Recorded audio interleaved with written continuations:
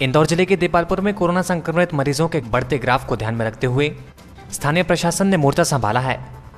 Depalpur SDM Pratul Chand Sinha, तहसीलदार Bajrang Bahadur Singh, CMO Chandrashekhar Sonis और पटवारी सहित जमीनी स्तर पर कार्य कर रहे कर्मचारियों के दल बनाकर नगरीय तथा ग्रामीण क्षेत्रों में लोगों को जागरूक करने के लिए अभियान की शुरुआत की गई है।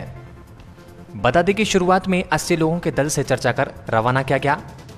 बताया गया कि दल द्वारा सभी नगरीय तथा ग्रामीण क्षेत्र के वार्डों में जाकर लोगों को कोरोना से बचाव के लिए सावधानियाँ बरतने जागरूक किया जाएगा।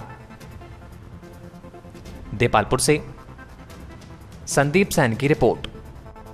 की व्यवसायियों की और समाज के विभिन्न तबके के साथ एक बैठक की थी आ, उसमें यह विचार आया था कि एक जन जागरूकता के लिए अभियान चलाए जाने की आवश्यकता है।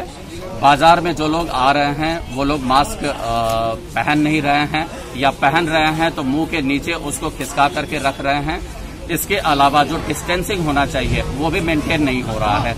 लोग अकारण भी घर से बाहर निकल करके बाज़ार में आ रहे हैं और कहीं न कहीं एक तरीके से संक्रमण का खतरा उनसे बढ़ता जा रहा है। जैसा कि हम लोग देख रहे हैं कि जो मरीजों की संख्या है, कोरोना कोविड 19 के मरीजों की, वो निरंतर बढ़ती जा रही है और ये हमारे लिए चिंता का विषय है। हम चाहते हैं कि आम जनता जागरूक हो ये जो बीमारी है, ये तुरंत खत्म होने वाली नहीं है। इसके लिए सभी का जागरूक होकर के जो गाइडलाइंस है, जो राज्य शासन के द्वारा समय समय पर जारी की गई है, उसका निश्चित रूप से मेंटेन करें, पालन करें और इस महामारी से बचने के लिए जो सुझाव उन्हें दिए गए हैं इम्यूनिटी बढ़ाने के लिए उनको क्या करना है, ये सारी चीज़ें उनको ये टीम जो है, जो नगरीय क्षेत्र के साथ साथ ग्रामीण क्षेत्र में भी गठित की गई है, ये जाकर के बताएगी और हम सभी आम जनों से ये अनुरोध करते हैं कि जो रूल्स है, उसका पालन करें।